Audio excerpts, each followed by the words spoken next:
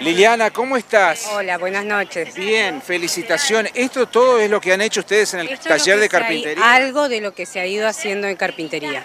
Bueno, el profe no está, sabemos que está atravesando algún problema de salud, pero realmente ha sido impresionante, un gran año para ustedes, ¿no? Un lindo año, con problemas como en todos los lugares, eh, pero bueno, siempre juntos, siempre unidos, trabajando y tratando de aportar a esto que es tan valioso de la municipalidad, que son los talleres de formación, porque nos forman para aprender una profesión, para salir adelante. Entonces, eh, cumpliendo con ello.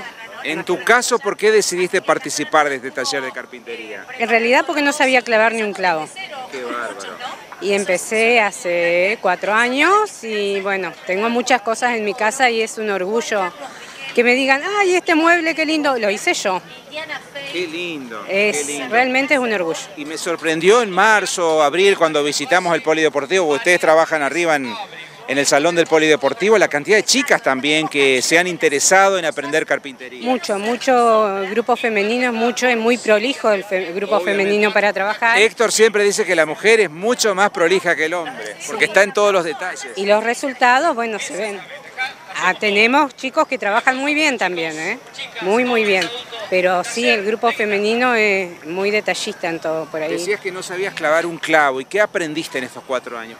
Describimos de poco. clavarme el dedo, Sí. eh, no, un montón. ¿Qué muebles han fabricado? Por ejemplo, acá vemos una cama, vemos una mesa.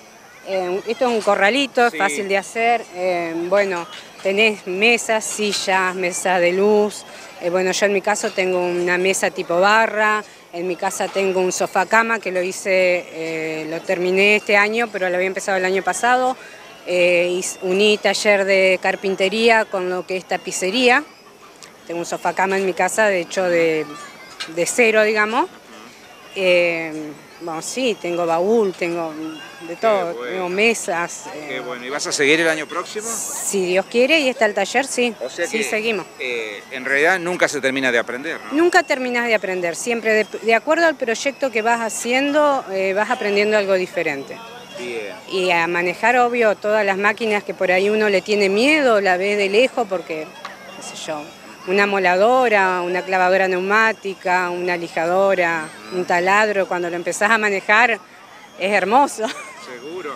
Lili, ¿y tu, eh, tu proyecto de vida cuál es? ¿Dedicarte a esto en algún momento? No, no, ¿O lo, o lo haces para, para fabricar los muebles de tu casa? En realidad para mí esto hoy por hoy es la distracción de Ya. llega el viernes y de, me descargo de todo lo que pasa en la semana, ir al taller y hacer cosas y compartir con los chicos es muy lindo.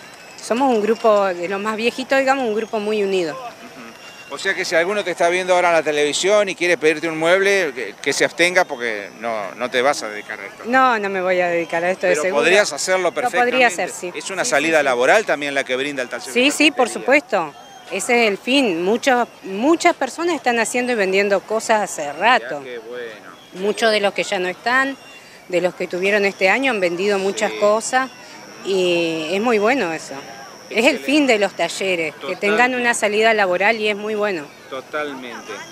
Ha sido un gusto, felicitaciones eh, por lo que haces vos, pero también lo que han aprendido a hacer todos tus compañeros, que eh, de, eh, de aquella inexperiencia total, seguramente a comienzo de año, hoy poder fabricar un mueble, una mesa, debe ser una enorme satisfacción, ¿no? Obvio que sí. Sí, es hermoso. Ver el resultado final es hermoso. ¿Ya terminaron por este año? ¿Retoman el año Eh, no sé, no te sabría decir porque como está Héctor más o menos, Claro. no te sabría decir. Claro. Sí, la idea, por ejemplo, yo, Milton, tenemos cosas todavía haciendo en el taller que no las terminamos y no las trajimos, pero sí, eh, veremos. próximo? Gracias, mucha suerte. Bueno, gracias a ustedes.